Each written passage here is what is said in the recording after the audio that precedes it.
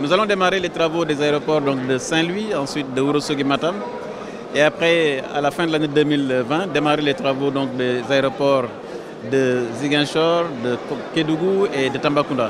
Après ce premier lot de cinq aéroports, nous allons lancer le chantier avec les aéroports euh, complémentaires. Il y en aura huit.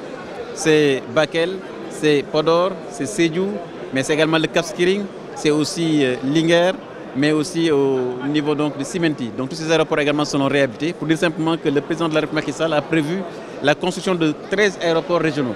Alors tout ça pour concourir justement au développement du hub aérien, puisque Air Sénégal aura justement une connectivité améliorée au niveau du Sénégal, ce qui lui permet donc de développer le, la circulation, la mobilité des personnes et des biens à l'intérieur du Sénégal, mais aussi connecter le Sénégal à l'international. Donc c'est un chantier qui est extrêmement intéressant.